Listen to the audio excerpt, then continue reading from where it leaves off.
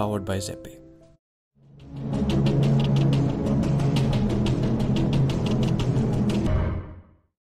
मेरा अगला सवाल आपसे ये है सुनील जी, कि क्या बिटकॉइन की ट्रांजैक्शन अनोनिमस होती है क्या उससे ये पता नहीं लग सकता कि अगर ए ने बी को अगर बिटकॉइन ट्रांसफ़र किया तो ये पता लगाना बिल्कुल असंभव है कि ए की आइडेंटिटी को और बी की आइडेंटिटी का पता लगाना बिल्कुल असंभव हो जाता है कि, और सरकारों को भी इसी, कहीं ना कहीं इसी चीज़ का डर रहता है कि ये ए कौन है और बी कौन है, जिसके बीच में ये ट्रांजेक्शन हुई। तो क्या ये सच है?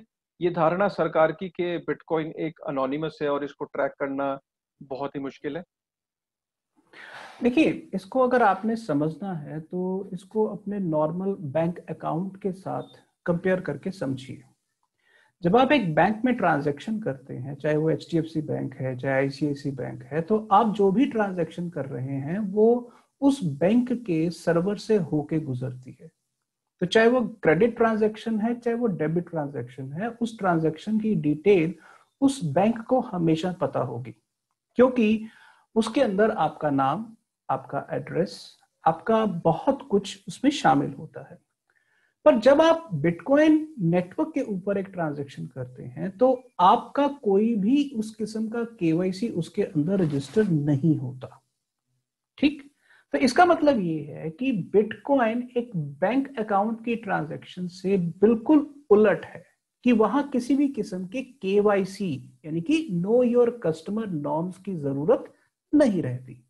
पर इसका मतलब ये नहीं है कि अगर बैंक अकाउंट के अंदर आपकी पूरी जानकारी उपलब्ध है तो बिटकॉइन में बिल्कुल भी जानकारी उपलब्ध नहीं होती।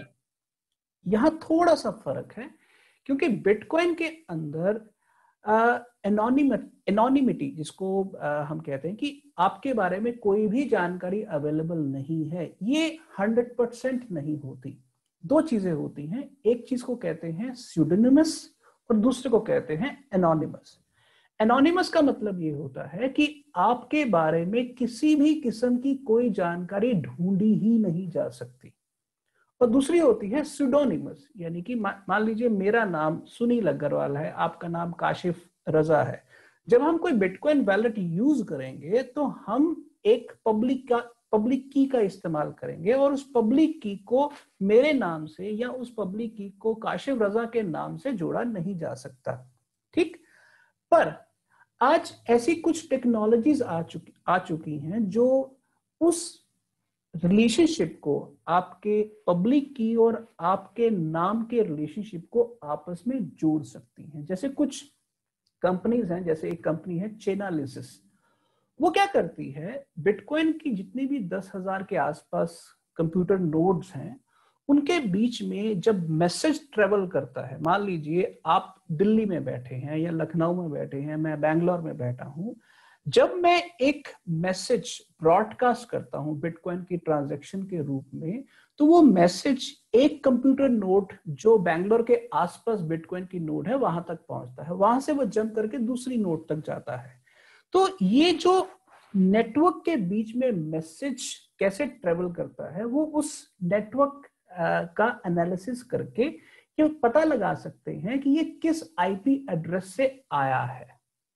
पर ये अपने आप में एक बहुत ही एक्सपर्ट सब्जेक्ट है। ऐसा नहीं है कि अभी मैंने ट्रांजैक्शन किया और अगले एक घंटे के अंदर मेरा एड्रेस मेरा नाम उस बिटकॉइन के एड्रेस के साथ सीधे जोड़ा जा सकता है। यह तभी हो सकता है अगर एक रिसर्च एजेंसी या एक रिसर्च कंपनी घंटों और हफ्तों रिसर्च करके ये पता लगा सके कि आपके आईपी एड्रेस का इस ट्रांजैक्शन के साथ ताल्लुक है।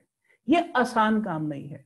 तो इसलिए बिटकॉइन को 100 परसेंट एनोनिमस नहीं कहा जा सकता, पर हाँ अगर आप ये टेक्नोलॉजी समझ जाते हैं तो बिटकॉइन के अंदर भी आप एनोनिमस रह सकते हैं। जैसे आप हर समय अलग अलग बिटकॉइन वैलेट इस्तेमाल कर सकते हैं। जब आप हर समय अलग अलग बिटकॉइन वैलेट इस्तेमाल करेंगे तो आपके आईपी एड्रेस को उस ट्रांजैक्शन के साथ जोड़ा ही नहीं जा सकता। आपकी ट्रांजैक्शन आपके नाम के साथ, आपकी आइडेंटिटी के साथ, तभी ये रिसर्च कंपनियाँ जोड़ सकती हैं।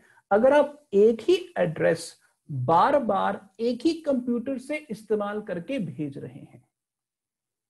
अगर आप ऐसा नहीं कर रहे तो बिटकॉइन आपके लिए 100 परसेंट एनोनिमस हो सकता है, पर अगर आपको इन चीज़ों का पता हो।